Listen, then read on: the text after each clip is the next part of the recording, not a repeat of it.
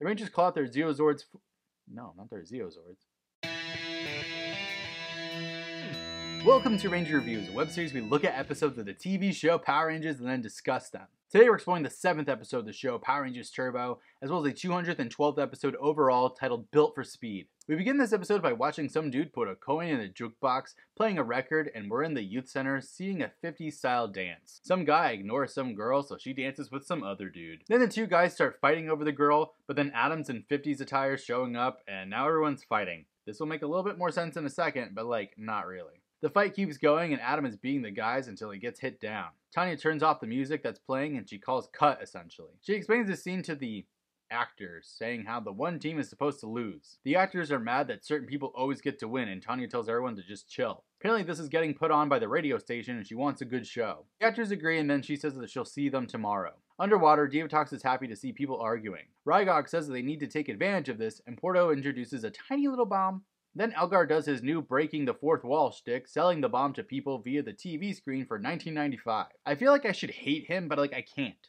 Elgar suggests someone fast for this, and Porto introduces Demon Racer, who runs around the place causing smoke to come up. Then Divatox says that he's just like the rest of the men in her life. Is she insinuating that she only has sex with guys who can't last long, or am I reading way too much into this? Outside the youth center, these stunt actors I'm supposed to care about come out complaining about how they want to win the stunt show, but they have to meet with the others and then they argue. They plan to do a drag race at Angel's Bluff, and they'll go toward the cliff, and whoever turns first loses. Adam comes up and he's about to speak up, and one of the guys tells him to stay out of it. Surprisingly, Adam says, No, I'm not staying out of this. And he explains that drag racing is illegal and very dangerous. To the point he even says that they could get killed. Like, I'm shocked they didn't tell him that drag races could end with them getting destroyed. The stunt actors agree that they won't do a drag race, but as soon as Adam leaves in Tanya's car, they agree that they're actually just going to ignore him and they're going to go do the race anyways. Well, at least he tried, let them die. Demon Racer sees them getting ready, excited. Meanwhile, more stunt actors are meeting in the youth center talking about the drag race. Behind the counter, Monkey, Bulk, and Skull hear about this, and long story short,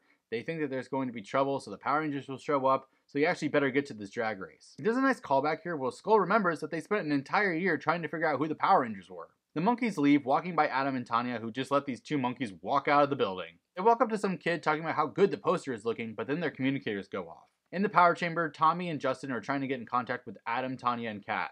Kat's busy, guys. The three show up, and Tommy explains that they were charging the turbo navigators, and then they got a signal of a new detonator. Before they leave, Dimitria explains that they should watch out for something more monstery with a bomb, so they leave, deciding to hit it from all sides. What? It's a bomb, and you have directions to it. Demon Racer runs around the youth center parking lot with the bomb, and luckily Adam is nearby seeing what's going on. Feeling like they could have stuck together, whatever, shifting the turbo. Adam pursues Demon Racer in his cart, and Demon Racer is driving a car. Couldn't he just run fast before? Then Adam and the monster literally drag race. Dude, you just got done poo pooing all this. This is really boring, so basically they race, hitting each other and coming toward Japanese roadblocks. Adam goes fast, going through the roadblocks, but Demon Racer turns, blowing up. He then comes out of the place, falling to the ground, explaining that they'll never find the detonator now, and Adam says that basically it's fine. Demon Racer falls, exploding. Let's just also point out that Demon Racer's chest this entire time says Speed King. Underwater, Elgar finds a giant eyeball in a window looking in.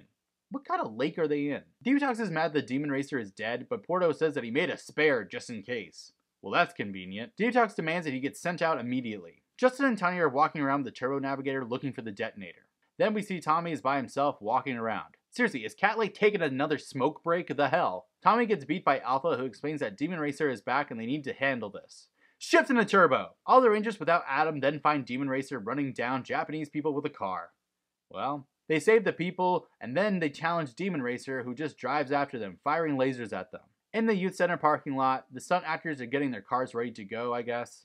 I don't know, they keep looking at their engines. Bulk and Skull come out, each getting into a car so they can tell the Power Rangers to make them humans again. Why do they keep assuming that the Power Rangers can do anything about this? In the power chamber, Alpha is watching the four Rangers lose terribly on the viewing globe. He talks to Adam, who says that he has a faint reading on the detonator, but he can't find it. Then one of the cars from the drag race drives by, and Adam immediately realizes that the detonator is actually inside of that car. Divatox commands for the torpedoes to be fired, and they hit Demon Racer, making him giant. He then fires at the Rangers on the ground a few times, but then he just turns around to find Adam posing up a storm. He gets into his little go-kart, making Demon Racer chase him while the other Rangers leave, I guess. Demon Racer keeps firing at Adam, who does a U-turn, coming back, and then he tries to step on Adam, who fires a missile at him, hitting him. Was that the entire battle? I mean, what just happened?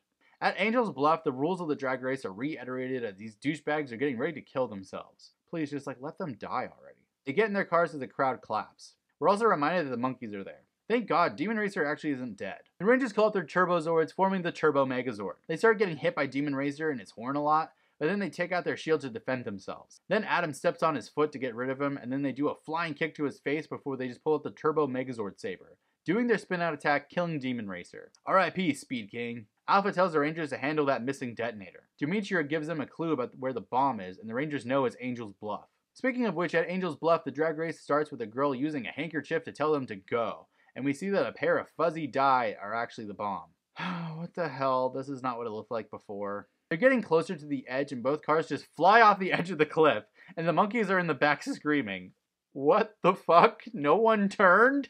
The cars stop midair because they're caught by the Turbo Megazord, and Adam teleports down into one of the cars, and he totally ignores that there's a monkey in there. He finds the bomb, tossing it out, letting it explode in the air. Adam gets out of the car, telling them to never do this again because the Power Rangers will not be around to catch them next time, leaving. Underwater, Rygog, Porto, and Elgar are hanging out together in a makeshift sauna, ignoring Divatox who is knocking on the door, pissed that the plan didn't work. I kinda love these villains a little bit. At Angel's Bluff, the crowd, Tanya and Adam come up, and the two stunt performers make up right away, talking about how they need to work together. I'm shocked Tanya hasn't lost her shit yet. Stone shows up and he finds that the monkeys are there, and he says if he didn't know any better, he'd swear, but then he's cut off because the monkeys stole his car, reversing. He literally says, Not again. The end. This episode's like supposed to be an Adam focus episode, but it's not at all. It's about two douchebags who want to drive off a cliff to prove who has a bigger dick. Demon Racer is a cool design for a monster, but its footage is pretty lackluster. Also, where the hell was Kat? Toward the end, she was ADR'd into the crowd at Angel Bluff to sound like she was there, but the actress was never seen. Like, was she sick or something? Oh. Just weird how often this show has gone without more than half of its principal cast in most of these episodes so far. So, how will the next episode fare? Especially since it's predominantly a Justin episode. Again. Find out next time, but until then, may the power protect you.